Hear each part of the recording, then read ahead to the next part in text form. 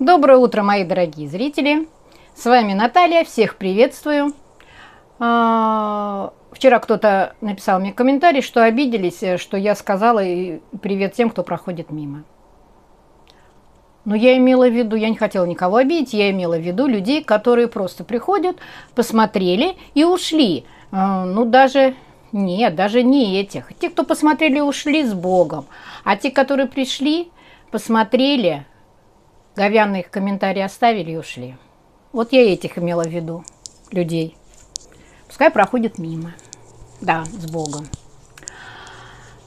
Ну что, в Москве продолжается жара. Да, видите, я еще даже не одета, все еще в сарафане, потому что дышать нечем. Вот у меня сарафан. Вот, вот такой. В Москве продолжается жара. Как бы на это пережить? Ну, еще говорят, почти до сентября будет. Да. Ну ничего, мы не такое переживали. Давайте вернемся к Быковой. А что происходит? Быкова вчера прогуляла работу. Угу. Если она говорит, что стрим – это ее работа, то она вчера ее прогуляла. Почему прогуляла? У нее болела голова. Да, это она в лепешках лежала вот такая все. У меня, говорит, голова болит. Да. Спать она легла. Не досыпает девочка, понимаете? И что еще мы узнали? Вчера она опять была в ГАИ, подошла очередь Феде сдавать экзамены. Она сказала, говорит, вот Федя сейчас экзамен сдал по теории, сейчас пойдет вождение сдавать. И тишина. Ну что, это тоже вождение не сдал? Если бы Федор сдал вождение, мы бы сейчас в стриме, еще вчера, видели бы эти права. И она кричала бы, какие у нее умные, одаренные дети. Как им все легко дается. Захотели права, пожалуйста. Сиска села попой в лужу. Федору, я так поняла, тоже. Я не думаю, что Санек сдаст. Если уж Федор довольно-таки не глупый парень. Но посмотрим. У нас еще впереди Санек на права должен сдать. А он же, по идее, вместе с Федором учился в одно время. А этот что, даже теорию не сдал?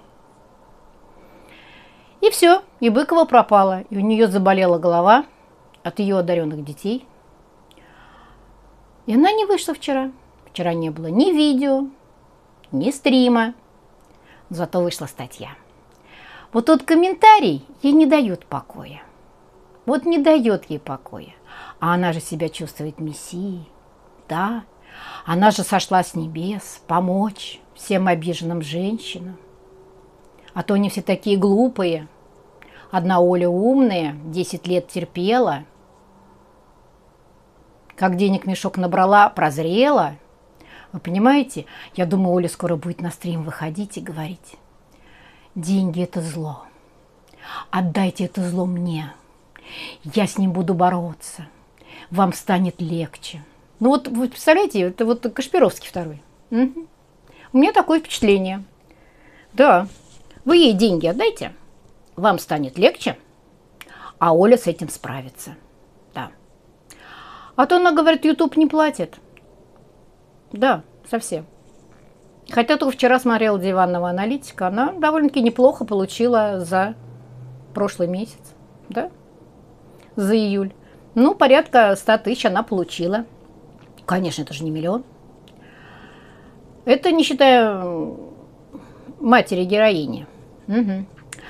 Или Оля у нас бегает по инстанциям, выпрашивает миллион. Непонятно. Да, совсем непонятно. Ну что, статья ее. Это продолжение позавчерашнего стрима. Это опять про жизнь в пустыне. Конечно. Но тяжело же было. А могла бы она оттуда уходить? Нет, не могла. А по своей ли воле она туда пошла? Нет, не по своей. Я уверена, что ее туда отправила матушка. Я уже об этом говорила.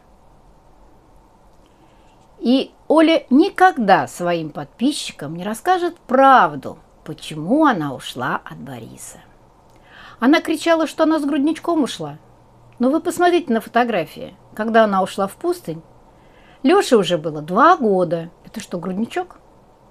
Два года Лёше было. Потому что два года они отмечали в пустыне. Ну, около двух. И как она писала, что там у них были такие условия, что она там на полу спала. А когда мама приезжала, это что за комната? Хотя внизу написано «Моя келья». Шикарный диван, шикарные обои. Дети играют на полу. Я что-то не поняла. Или это уже в квартире, которую тебе дали? Но тебя даже она не устроила? Очень замуж хотелось. Ты же в пустыне никого не нашла, никого не увела, никто на тебя не позарился. Ты же сама это преподнесла, что тебя не любили в пустыне, так же, как по всей жизни. А ты думаешь, тебя сейчас любят? Ты нашла вот таких же больных на голову, как ты, которые, как на башка Кузю, на тебя молятся, и ты счастлива. Ну, еще Санек, да, ну, Санек, конечно, да, Санек присосался. Это пиявка еще та. Любовь закончится, когда закроют YouTube, и Быкова останется с голой жопой. Как она говорит. Ну, Артур ее же до трусов раздел, а YouTube вообще с нее трусы снимет, и она будет с голой жопой. Угу. Вот тогда мы посмотрим, как Санек себя проявит. Нет, мы этого, думаю, не увидим. Ну, если только в Телеграм. И то вряд ли. А Быкова, если YouTube закроют, где она будет жаловаться-то? На Дзене? Ну, возможно, на Дзене будет жаловаться про свою несчастную жизнь. И, конечно, у Быковой сейчас голова болит еще об одном. Но Федя еще как бы недельки две побудет, ему еще надо права получить, прежде чем уехать. Приедет ли Сиска? Ну да, она же привезет детей. Надолго ли или нет, не знаю. Ей тоже надо пересдать. Ну вот посмотрим, пересдаст она или нет. Ребятишка надо к школе привести. Лешек уже якобы квартиру снял. А, вы знаете, мне интересно, 16-летнему ребенку, как заключался договор? Мне кто-то писал, вот, мы тогда учились в институте, мы снимали квартиру, нам тоже не было 18. Вы знаете, когда я училась в школе, я могла спокойно летом после 14 лет пойти и устроиться на работу. В этом году внук мой устраивался на работу. Без разрешения опеки никто его на работу бы не взял. Поэтому его родители ходили в опеку, писали заявление на разрешение, чтобы ребенку разрешили работать. Вы не сравните, что было и что сейчас. Сейчас без опеки, пока ребенок несовершеннолетний, шагу не шагнешь, ничего не сделаете. Вы помните, как в прошлом году Сиска говорила, что Пошла, зашла в АВИР, хотела сделать загранпаспорт. Ей спросили, сколько тебе лет, она сказала, через месяц будет 18. Они говорят, ну тогда приходи с мамой. Или приходи одна через месяц. Вот и все. Поэтому я не знаю, кто там сейчас будет заключать договор об аренде этой квартире, кто за нее будет нести ответственность для того, чтобы Лешек там жил. Да в этой квартире. Возможно, с ним будет жить Федор, поэтому им вдвоем будет дешевле ее снимать. Возможно. Но у меня впечатление такое, что Федор, скорее всего, едет в Питер. Я так думаю, а там я не знаю. Мои предположения. А что делать в Тамбовской области? За три копейки работать? Нет. Федор может какую-то небольшую работу найти себе там в Питере, и подрабатывать своим фрилансом, на что его научили. А сам на дядю он работать не очень хочет. Так же, как все. Угу. Лешек вчера тоже немножечко соврал, но ему там в комментариях написали. Он сказал, говорит, я три дня сидел дома безвылазно, решил отдохнуть, поехать к друзьям. Они, ему задали вопрос, Леш, как ты сидел безвылазно, если ты накануне ездил с мамой снимать квартиру? Он сказал, вы ничего не понимаете, это не то. Для него, оказывается, выйти из дома – это значит пойти тусить с друзьями. Ну, Леш, ты же преподнес так, что ты трое суток сидел с детьми, хотя там есть Надя. Ой, не Надя, нянька, которую звать Катя, которая выгуливала собаку за воротами, когда Ольга увозила Чипа, Чипа да, без Дейла. Все уже видели, все уже знают, что там есть нянька. Но ты преподносишь, как будто ты сидишь. В общем, семья брехунов. А подписчики...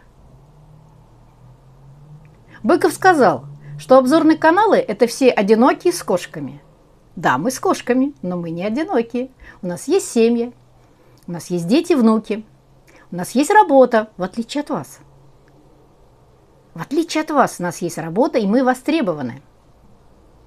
Как помните тогда, большая перемена, писал, говорит, я требуюсь, на каждом углу я требуюсь. А вот кто у тебя подписчики? У быков. Да, ЕБ, который. ЕПшечка, да. Я удивляюсь. Ну все, мои дорогие. Я сказала свое слово. Ваше право написать, высказать свое мнение. Я вас всех люблю. Вы у меня лучшие. Жду комментарий.